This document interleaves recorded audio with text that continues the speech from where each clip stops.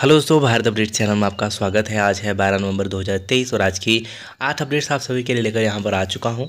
तो आज दिवाली है तो आप सभी को हैप्पी दिवाली। और अच्छे से दिवाली को सेलिब्रेट कीजिए अपनी फैमिली के साथ। चलिए शुरू करते हैं पहली अपडेट के साथ। तो रही पहली अपडेट बारालाचा में एक फीट बर्फबारी दारचा में फंसे ट्रक मनाली लेह मार्ग अभी बंद, बर्फबारी से लखनऊ प्रदेश की ऊँची चोटियाँ। आज से मौसम साफ़ रहने का पूर्वानुमान। छब्बीस डिग्री पहुँचा ऊना का पारा। शिमला समेत प्रदेश के सभी क्षेत्रों में खिली रही धूप। नेक्स्ट अपडेट ये रही एचआरटीसी ने यात्रियों को दी सुविधा काउंटरों पर क्यूआर कोड स्कैन कर दे सकेंगे किराया। बुकिंग क्लर्कों को राहत। अब खुले पैसे की दिक्कत। खत्म। नेक्स्ट अपडेट ये रही, खरीदारी करके शाम पाँच बजे से पहले ही लौट जाएँ घर। एचआरटीसी नहीं चलाएगा बसें। निजी भी कम चलेंगी। दिवाली के दूसरे दिन सुबह के वक्त भी होगी बसों की कमी से दिक्कत।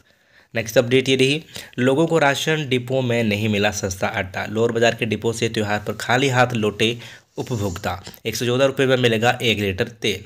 नेक्स्ट अपडेट ये रही, नर्सों के खाली नौ पदों पर प्रतिनियुक्ति के दिए आदेश। कोर्ट के संज्ञान पर अस्थायी तौर पर भरने की पहल। नेक्स्ट अपडेट ये रही।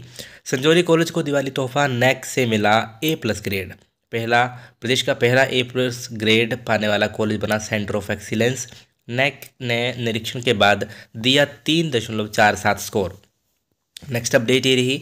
नरवाना में पैराग्लाइडिंग क्यू एक्यूरेसी कप कल से सत्रह नवंबर तक चलने वाली प्रतियोगिता के दौरान सांस्कृतिक संध्याएँ भी होंगी।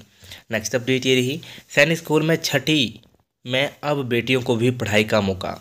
इच्छुक अभ्यर्थी 16 दिसंबर तक करें आवेदन। 21 जनवरी को होगी राष्ट्रीय प्रवेश परीक्षा। आवेदन से पहले आयु सीमा जांचें। तो ये थी दोस्तों आज के अपडेट्स। बाकी ये आप यहाँ पे देख सकते हो, एक सौ छियासी और शहरों में आयोजित होगी परीक्षा। बाकी वीडियो अच्छी लगे तो लाइक, शेयर, चैनल को सब्सक्राइब ज़रूर करिएगा मेरे लेटेस्ट अपडेट्स के लिए। Thank you.